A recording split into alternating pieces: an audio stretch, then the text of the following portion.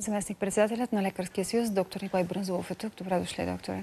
Здравейте. Видях ви как гледахте репортажа.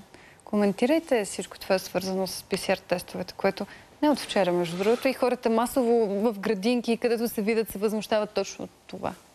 Ми, първо искам да поясна, Българския лекарски съюз не е част от договорен някакъв екип, който би изг... определил алгоритъма на поведение в дадения случай, макар че ние изрично искаме такъв да бъде изработен и да бъде внедрен в системата, защото той не търпи отлагане. А, на заседание на управителния съвет и Националния съвет на Българския лекарски съюз също решихме да направим допитване до Национална здравно-осигурителна каса колко теста е заплатила за близо месец. Оказаха се, че 300, са 340. Само. Направете си сметка колко на ден се правят вече. Те са стотици хиляди така. от началото на епидемията. 340 са платени от Национална здравно-осигурителна каса. Защо толкова малко? Ами защото алгоритъма не е ясен. Ето, видяхте и колегите, още практикуващи лекари, как се чудат на къде да тръгнат, след като не може да се изясни пътя на пациента по най-бързия начин болен, да му бъде поставен Болен диагноз. пенсионер да чака две седмици да вземе пенсия, за да си плати ами, PCR теста от ами не би 120 редно. лева, плюс още да дойдат вкъщи 30 лева да ти го вземат и взимането още 30, 200 лева.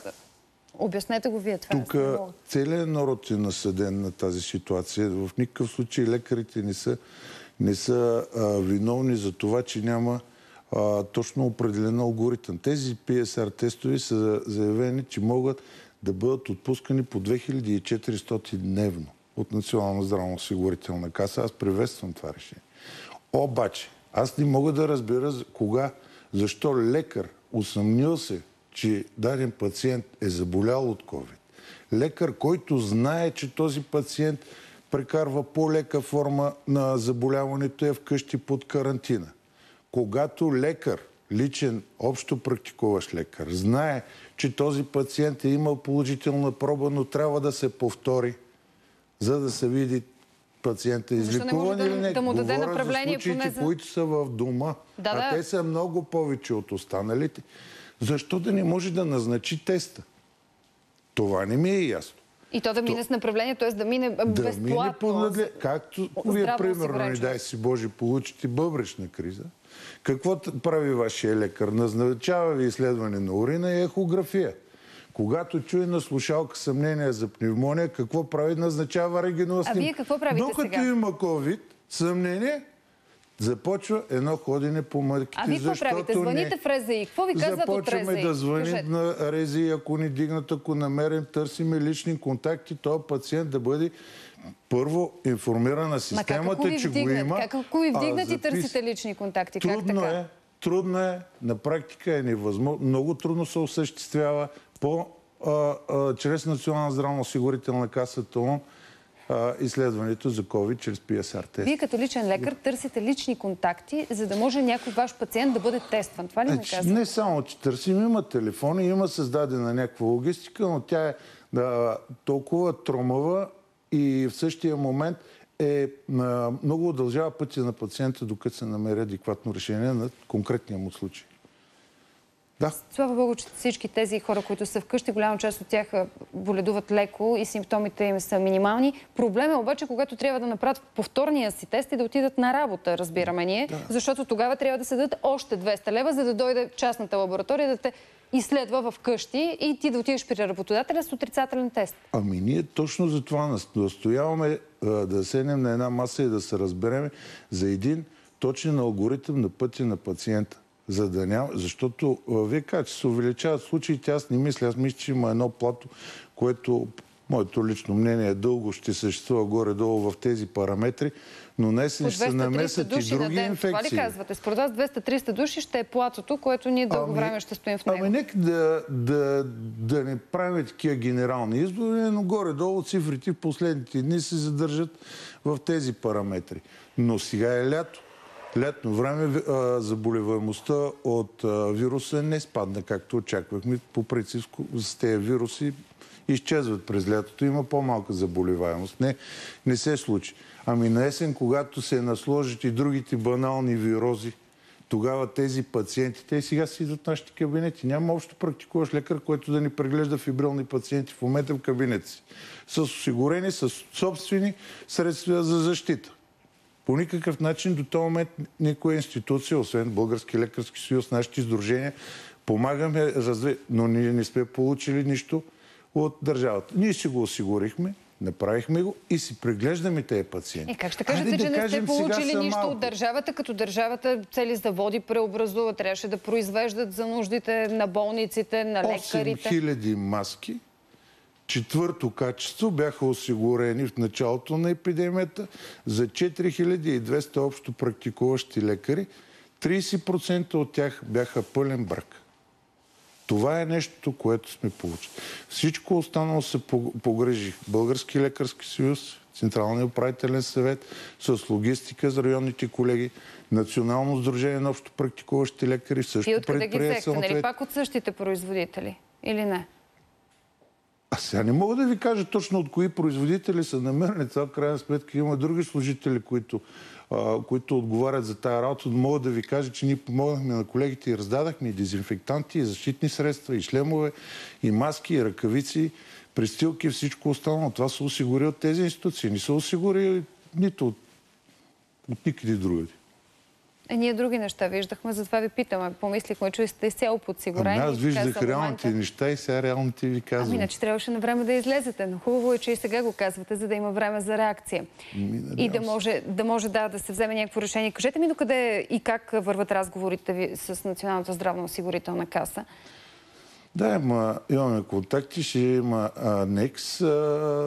Пътеката COVID ще бъде увеличена доста, от 617 лева на 1200 лева. И тук веднага казвате, Всички... ще, ще започне едно масово хоспитализиране на болни с COVID, защото болниците ще взимат двойно повече. Не може да започне масово а, хоспитализиране на болни, защото начина на постъпване на тези болни в отделенията не е толкова е така, защото някой е решил. Те, техните тестове трябва да бъдат проверени и в референтна лаборатория. Тук не може да има, да има никакви спекулации. Допълнително се отделят за около 20 лева на а, пролежал пациент значи към всяка клинична пътека. Ще бъдат добавени тези средства. Колегите в болниците да могат да осигурят по-добра защита на отделение на пациенти, всеки менеджер ще може сам да се решава как да ги вложи по-целесъобразно, за да не се получават а, взривове в самите лечебни заведения.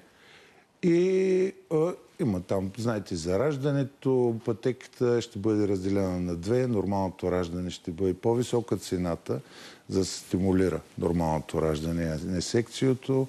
Има там за, за детските пътеки, неоднотологичните, също има подкрепа и в общи линии е това.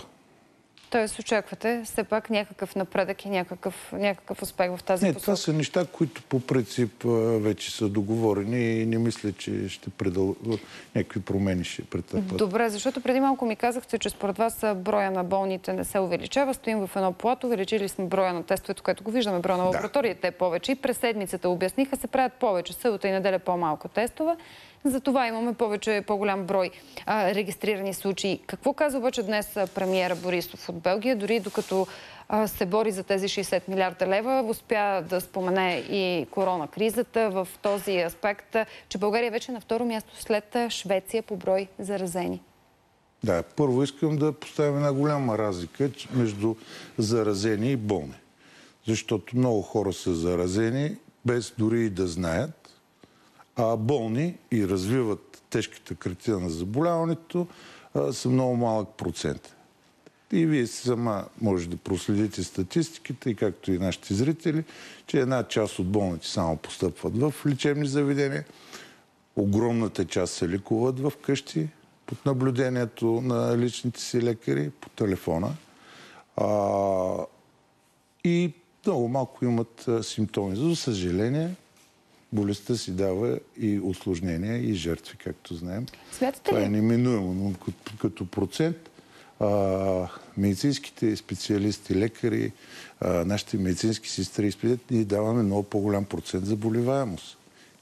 Защото болните идват при нас. Това трябва да, да, да се въведат допълнителни мерки, за да се съхрани здравната система. Не е толкова важно леглата. В България има достатъчно легла, за да могат, може да поеме по-голяма въпрос за вълна от медицински лица. Това го говорихме в са- самото начало. Да, Да. при нас в това предаване никой не е имал грешка в това отношение. Да, става въпрос за специалисти предимно. Смятате ли обаче, защото предаването ни така тръгна от европейските теми, не смятате ли, че една намеса на Европейския съюз и изработване на ни общи критерии за харчене на тези пари, свързани с корона кризата, които разбира се няма да отидат директно само към болници, въпреки че от българска страна има и подобно предложение. Смятате ли, че това би могло по някакъв начин да спаси ситуацията, която е в момента Значи, Аз у нас? мисля, че всяка държава трябва да изработи собствен алгоритъм, защото има нюанси протичане на епидемията в различните държави. В България, аз колко са заболели, в сравнение с Швеция и така нататък, а, да, сигурно е така, но в, в България, знаете пък, че е, протича сравнително по леко